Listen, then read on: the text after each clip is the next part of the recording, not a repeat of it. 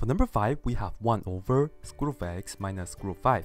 We see that we have square roots in the denominator and we have two terms in the denominator.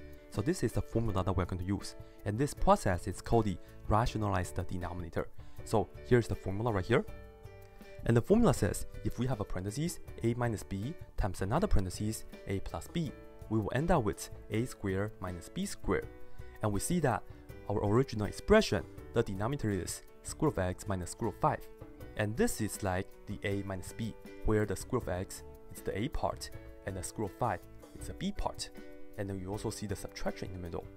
In order for us to use this formula, we need to have this guy right here, the a plus b. Therefore, what we are going to do is, we will take this and multiply with the a plus b.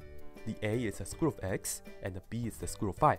So, we will multiply this with square of x plus square root of 5. And this guy right here, it's also called the conjugate when we're trying to rationalize the denominator. And we'll also multiply this on the numerator as well. Square root of x plus square root of 5. Alright, so let's just multiply out the top. We have 1 times square root of x plus square root of 5.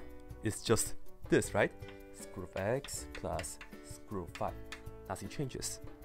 And then for the denominator, to multiply this out, we can use the result right here.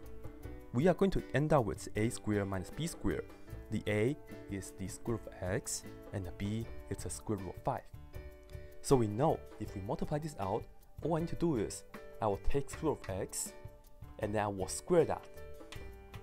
This right here is the a squared part, and then we'll subtract. Let me put this in the parentheses first. The b is the square root of 5, so I put that right here, and then I will have to square that.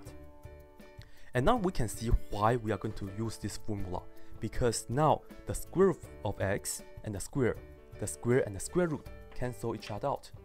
Likewise, for the square root of 5, the square root and the square, they cancel each other out. Therefore, what do we get? Just x minus 5 in the denominator.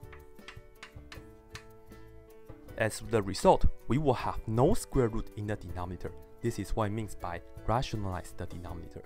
And this right here will be answer choice A in the answer choices. That's it.